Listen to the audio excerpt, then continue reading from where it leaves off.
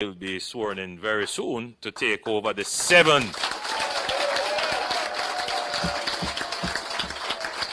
municipal corporations that the Jamaica Labour Party has won, which means that we have won the local government election.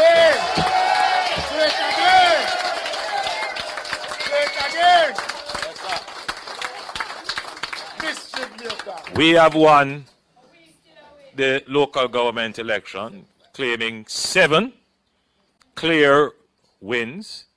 The PNP has five clear wins, and there is one tie. In any metric, in any math, in any categorization, the Jamaica Labour Party has won the local government election.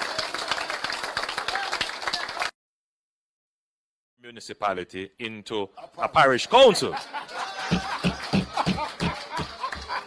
I'm very happy that they have recognized that Portmore is a separate entity. Because what they want to do is to double count.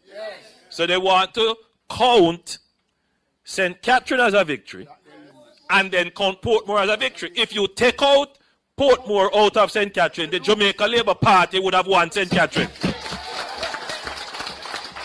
So they, they can't come and try to double count the kind of deception for which they are known. Portmore is already counted in St. Catherine. So they want to double count and deceive people who don't know. In my opinion, it is really a dishonorable thing to do. Yes. Yes.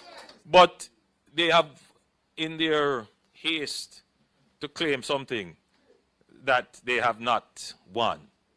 They have walked right into what we have been saying. Portmore should be a parish.